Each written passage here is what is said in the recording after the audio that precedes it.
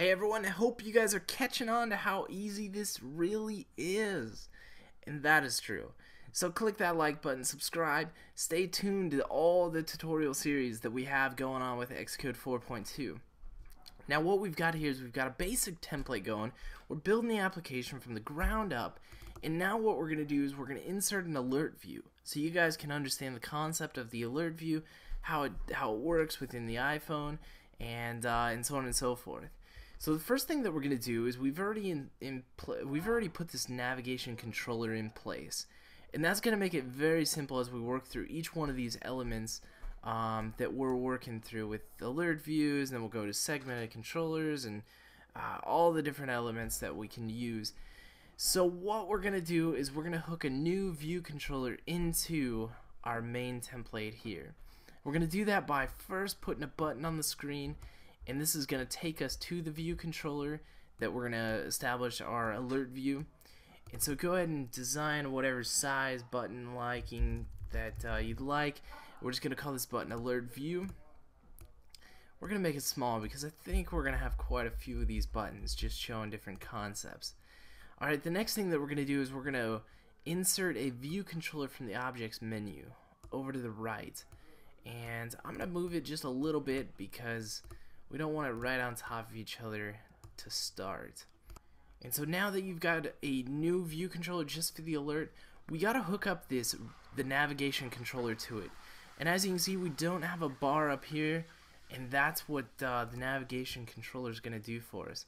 So we're going to click the button that's going to bring us to this new view controller. We're going to hold control, click and drag, and drop it on our new view controller and we're going to use the storyboard segue of push to get it there. So this the first thing that you see is we now have a navigation controller um, embedded within this view controller. The other thing is it it absorbs the tab bar controller from the previous navigation controller. So it already puts those elements in us in there without us having to actually go in and program and put them all in and assign them and all that stuff. So it's very simple to, to do that.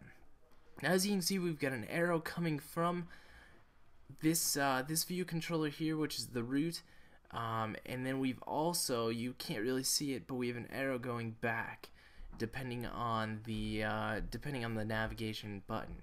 So we're gonna go ahead and run this now, so you guys can see what has happened so far and how easy it is just to do that part of the the uh, application. And so now you'll see the third bar here is going to be a root view controller with the button that we put on screen. When you click the button, it takes us to our new view controller, which is off to the right here. And it gives us this nice navigation bar that allows us to go back to the root view controller. So that's kind of the basics to the navigation controller. Now what we're going to do is roll into the, uh, the alert view and this is you know you don't have to do it this way but I'm just setting it up so we can do individual projects and you guys can basically figure out which which elements you want to insert into your projects. So the last thing that we're going to do before we get into the actual programming the alert view is we're going to go change the titles here. And you can double click and we're just going to go project elements. Wow there we go and you can also insert a title up here. So we're gonna put uh, alert view. And again you can double click to add a title or you can insert it within the attributes. So then when we go to the alert view it's gonna have a title of alert view. It's gonna be clearly stated there. And uh, we can move forward there.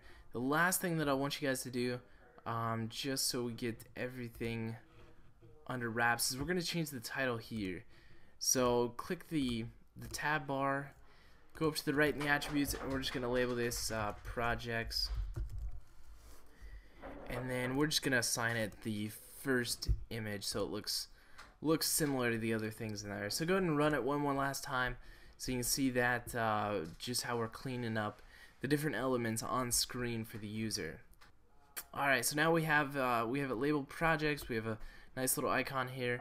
We've got a title that we've injected and then also a title here so you can see that the title of the screen is going to be the navigation element, where it's going back to. Alright, so in the next tutorial we're going to actually program a little bit more in the alert view in this view controller here, display an alert within there, and, uh, and then we'll keep going forward with some of the other project elements that we'll start going through. So we'll see you guys in the next tutorial.